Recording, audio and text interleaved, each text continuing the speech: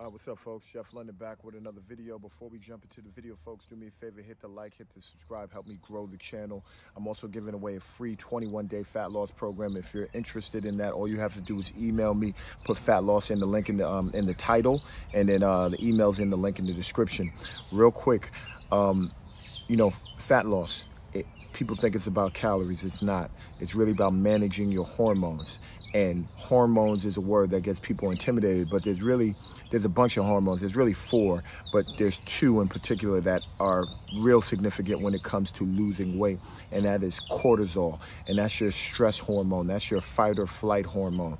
So what happens is um, when you're stressed your body breaks down sugar which is a good thing and you use that sugar to get energy. So back in the day when we were in the jungle, a lion was there, cortisol levels would shoot through the roof and you would use this, burn this sugar, which is coming from your muscles and fat cells to get energy to just hype yourself up and get the hell out of there or climb a tree or whatever.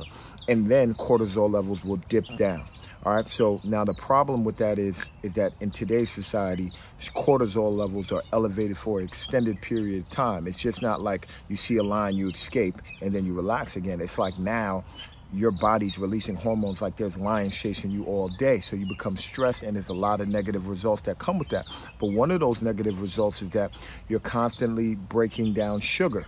And when you break down sugar and sugar's in the bloodstream, insulin is released, which is your storage hormone. You cannot burn fat when insulin is present. And every time you eat a carbohydrate, insulin is present. So this has nothing to do about diet, when your body is stressed and cortisol levels are high, insulin is constantly being released and uh, hold on one second, guys. What happened here? Okay, it's constantly being released, and you're just steady burning fat. And when you're eating, anything you're eating is getting stored as fat cells. So you have to manage your stress, and which is a real like obscure term, right? It's like, how do you manage stress? Well, one thing is like sleeping more. That's an easy way to manage stress.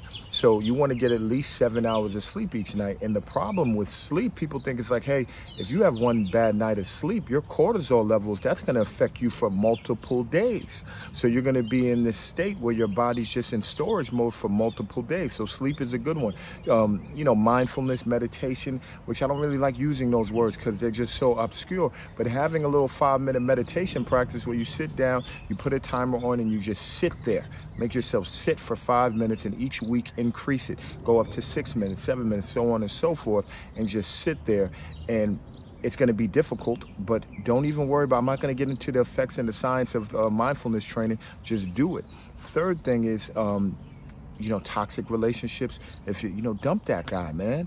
Dump that guy. If he's, if you're stressed more times than not, that's not good. Get rid of it. Get rid of it. And, and vice versa with the fellas. If she's stressing you out, man, charge her, man. Get, go, go be single. It's okay. You could be alone. And that's the problem. A lot of people don't want to be alone. They always got to have somebody to cling on to. Be alone. That's a sign of strength that you could be behind yourself, but by yourself. Back in the day, when I got out of college, all my friends were like all over. They didn't get back from college yet. I used to, I lived in New York City.